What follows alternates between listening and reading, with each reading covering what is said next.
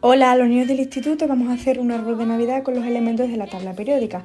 A mí me ha tocado realizar el níquel y comenzaré a hacer la N y la I, que es el símbolo, y mm, haré algunos elementos de Navidad como el Papá Noel, una piruleta, etc. Pondré eh, su nombre, que es el níquel, y el número de protones, que es el 28. Y he empezado a decorarlo con purpurina, mm, colores navideños, etc.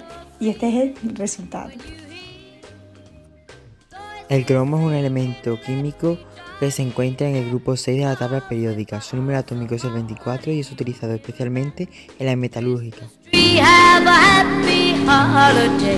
Este elemento de la tabla periódica es el manganeso. Se ubica en el periodo 4 y en el grupo 7. Su número atómico es 25 y su masa atómica 54,94.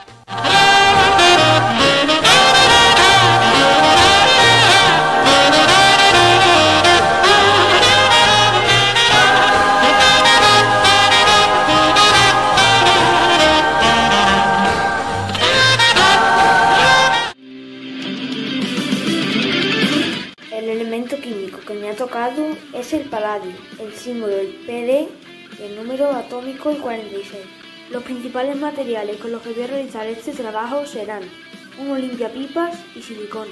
Hacemos la forma de las letras y de los números. Cortamos los limpiapipas según la forma de los números y de las letras. Una vez recordados los limpiapipas, pasamos a pegarlos de la forma de las letras y de los números. Mirad cómo va quedando. Una vez puestas las letras de paladio, rellenamos lo que es la D. Para la D he tenido que utilizar otro tipo de naranja ya que el otro se me había acabado. Así es como quedan las dos letras completas.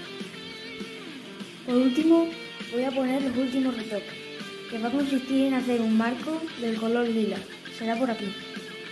Y así es como queda nuestro trabajo, con el número atómico, con el símbolo, con el elemento químico y con las decoraciones.